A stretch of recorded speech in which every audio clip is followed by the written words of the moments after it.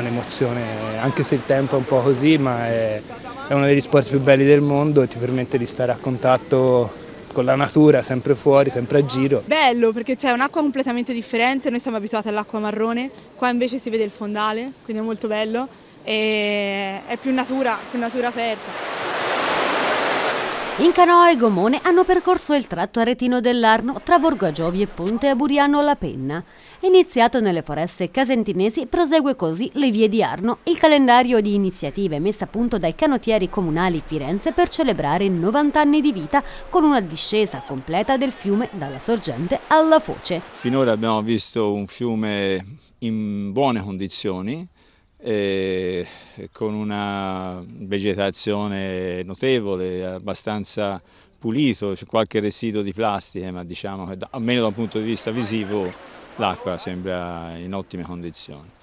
L'aspetto da segnalare, uno l'ho già detto, quello di avere lungo il fiume magari una via ciclabile sarebbe, sarebbe l'ottimo e dal punto di vista canoistico ci sono spesso delle chiuse o delle pescaie che rendano difficoltoso la, la, navigazione. Una quarantina le persone, tra ragazzi, atleti e semplici soci che hanno pagaiato accompagnati da una guida ambientale solcando il fiume nell'invaso della penna. Bellissimo, il fiume è veramente bello, veramente bello. C'è qualche plastichina, eh, ma non molte, direi piuttosto pulito. È stato meraviglioso, stupendo, io mi sono divertita molto. Il progetto vuole essere un tributo al fiume Arno, ma anche l'occasione per verificarne lo stato di salute.